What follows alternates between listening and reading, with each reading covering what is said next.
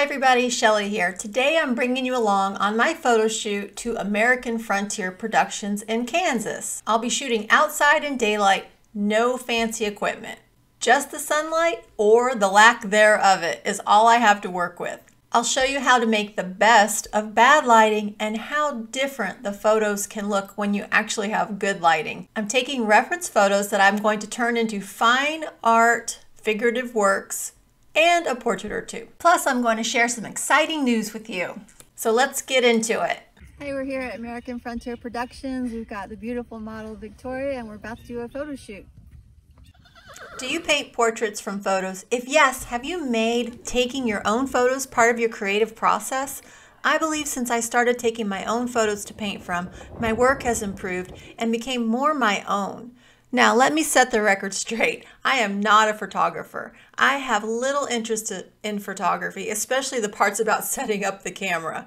I know just enough to do to, to almost get the shots I want. I rely on Photoshop and Lightroom to get my photos the rest of the way there, or at least a bit closer to my vision. We spent two days shooting here. The first day was sunny in the morning, then the clouds rolled in with a bit of rain, but the second day was bright and sunny with an occasional cloud rolling through. Now here's something to know. I have been writing down these photo setups for months before getting to the photo shoot, so I was totally ready with some photo ideas. But I also allowed the events of the day to give me new ideas. So basically, I'm saying I went there with a relaxed plan with some wiggle room. So let's get into my first setup. This is early the first day. It's overcast, which is not ideal lighting. It leaves things kind of dull and flat. You don't get the pop of the colors like you do when the sun is out, but it also doesn't create strong shadows so you can have a little more freedom in positioning your subjects. This also allowed me to shoot from pretty much any angle. So I got up on a ladder and shot from above. I shot down below. I shot in different um, left and right sides to the scene. And it just really didn't make too much difference because of that overcast flat lighting we thought it'd be a good idea to get our male subject into the red long john underwear, especially since the lighting was so flat. This would really help to bring the scene alive and give a good pop of color against all that kind of dull muted green.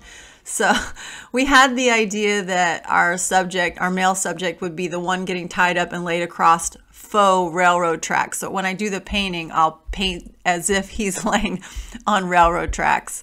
But I also thought it'd be a good idea to get some close-up shots of the faces and, you know, have options as far as piecing together. So a lot of times I'll composite different photos together for my final painting reference. So I got some great shots despite the overcast lighting, but I also knew I could uh, take care of that in Photoshop. So I pulled up the photo here you see in Photoshop and all you have to do is get the camera raw filter on and then click auto. I mean, it couldn't be easier. With the auto setting in Photoshop, it does a great job of just instantly letting you see the subjects and, you know, taking care of the shadows and the highlights. A lot of times with photography, um, you're going to have the situation where your highlights end up showing in the photograph lighter than they would in real life and the shadows end up showing darker than they would in real life. And you can see here how the AI in Photoshop instantly knew that and took care of it with the auto setting. So if you're not a Photoshop aficionado don't worry. All you have to do is click auto and your lighting situation will be taken care of beautifully so here's another thing you can do to combat this um, dull overcast lighting. So we have a structure here and I can see that the lighting is still not great with the subject out in front of the structure. So I move him inside just by the opening of the door and look, it's a huge difference. I mean, the lighting instantly changes the glow of the wood inside, and this creates a single point lighting source that you can see just to the right of the subject's face. And here's the painting that resulted. So here's the exciting news I have to share with you. Earlier this year, I became an instructor with RTY Art Academy. And the RTY stands for Rebecca Tillman Young. She's an amazingly talented artist, and she's going to be giving you a free workshop. Yes, that's right, free and it's going to teach you some of the fundamentals in painting portraits in oils. She's an amazing teacher, and I'm going to go ahead and play the um, promo video for you. And if you're interested in joining the free workshop, which I highly suggest you do, the link will be in the description below this video. Hi there, I'm Rebecca T. White, creator of the best-selling course Lifelike Oil Portraits in 90 Days, and I'd like to invite you to my free online workshop, Lifelike Oil Portraits. In this workshop, over the course of a week, I'll be teaching you my three-step formula that will help you to improve your oil portraits instantly, even if you're just getting started. These are surprisingly simple techniques that have helped over 20,000 of my students to see dramatic improvements from their very first tries. You'll learn how to use a simple technique to set your paintings up for success from the very first brushstroke so it becomes easy to capture an accurate likeness in every portrait. You'll learn a color mixing method to help you accurately mix rich, beautiful colors so your paintings feel like they're alive and vibrant instead of flat and two-dimensional. And I'm going to teach you a step-by-step -step process that will help you finish more paintings in less time and with better results than you ever thought possible.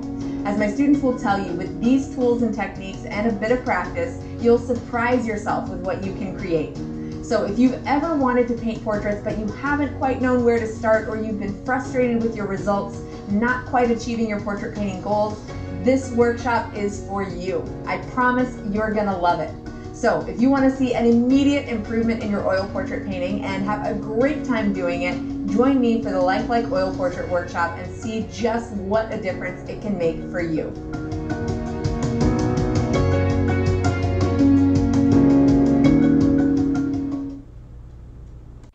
Sometimes it's more about capturing your subject and getting the action and the clarity of that shot. And you can take that subject and understand the anatomy and the perspective and turn it into a painting that has nothing to do with the actual photograph you took other than just setting up the subject and getting the perspective correct. Remember, with overcast lighting, just focus on getting interesting shots, capturing action, and then you can fix all that later on in Photoshop like I showed you, you've got the one click auto button and it'll take care of everything for you. But then if you want to be a little bit more creative in Photoshop, you can play around with those sliders. With overcast lighting, sometimes it can help to change locations. And in this situation, we are going for higher ground. We're actually walking up. It doesn't look too steep here, but it was quite a big uh, hill we went up to the top of to catch these shots. I mean, look how much different it is shooting in this direction and the light completely changed. Now I did hit the auto button on these photos in Photoshop, but the location change was key. Now for this setup, I did wait until the sun was to the one side, not quite so much overhead directly. Even though it's overcast, it is important to understand where the sun is in the horizon. So this way it was more to the left of my subjects, creating a little bit of depth in the face, giving me more volume to work with, you know, because you want to have some shadows on your subject's face in order to have a an easier time creating your painting. Otherwise, you have to create these shadows from you know your imagination or from your own knowledge, which can be done. But if you're newer, it's better to have it there. So here you can see my images directly from the camera and then I'm clicking that auto button in Photoshop and voila, they're ready. It's so cool the way that um, Photoshop's so smart and makes it easy to you know, relight your images. So here we go. I've got a couple to show you. I'm going to uh, paint these as if they're playing tug of war over a little creek. It'll be so cute. On overcast days, take your subjects inside. This sets up the one point lighting situation it's kind of similar to how I showed you before with the cowboy going into the barn and using the opening as our one point light. So here we're using a window actually inside of a room and it's working out quite well. Now I notice I couldn't place my subject directly in front of the window. It was better to have the window to the side of their faces. Here we are, day two, lots of sunshine. Hey, we're here at American Frontier Productions and we've got our beautiful model Kathy and her horse Woodrow and we're setting up our first shot for the day. With strong sunlight, it's preferable to not shoot in the middle of the day when it's directly overhead. So you can see here, there's nice shadows being created to the side of our models. So the sun is positioned perfectly. It's not too high in the sky yet. The sun is really making these images glow. Here's a couple of the shots that we did. Uh, with working with two models, I shot each model separately and then I combined them together. As I mentioned earlier, I had some uh, thoughts prepared ahead of time, and one of them was to shoot the images of a girl band. So I put together here my old timey Western girl band. We have our washboard being played, of course, a fiddle and a mm-hmm. banjo. When shooting in bright sunlight with your subjects wearing hats with large brims like here, it's good to get down a little bit low underneath the brim, shooting up into the face. I added a dancer and then we changed locations. We went out in the full sun next to a pseudo campfire. And again, I'm shooting down low so I can get up into the faces. And by the end of it all, we were having a blast and everybody was into the photo shoot. now it's later in the day. This subject came about um, by chance. I saw this model dressed for a, another artist um, setup, and I asked her to come find me when she was finished. And I took her over to this area, and we began shooting for my portrait setup. So in Photoshop Raw, we have a close-up portrait shot here. Now what I wanted to show you is when you are painting a portrait, you may want to print out or have two or three versions. One where you're going to see the image with all the good contrast. Maybe you pull up the contrast and you really show some of this dark area and then some of these highlights.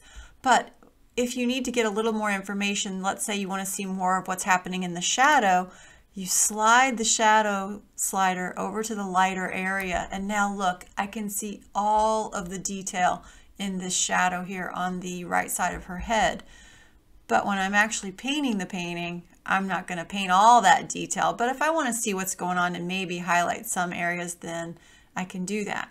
Because as I mentioned before, whenever you take a photograph, it shows the shadow areas much darker than what they are in real life, and it accentuates the highlights to be much lighter than they are in real life. So here we have the highlights darkened down quite a bit, but if we wanted to see those brightened up, we could turn those up.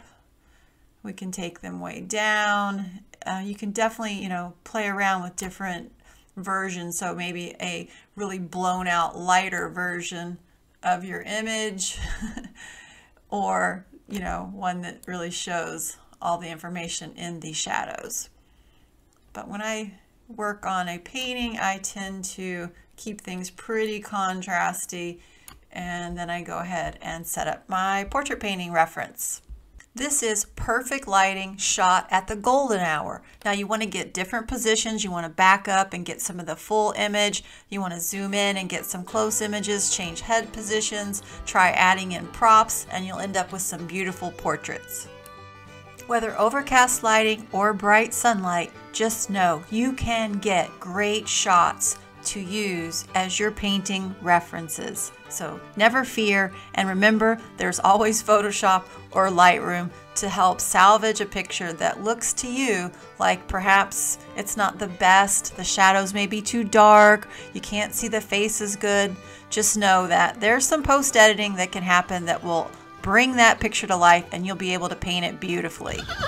Be sure to go into the description and get signed up for the free workshop with Rebecca and I will see you in the next one.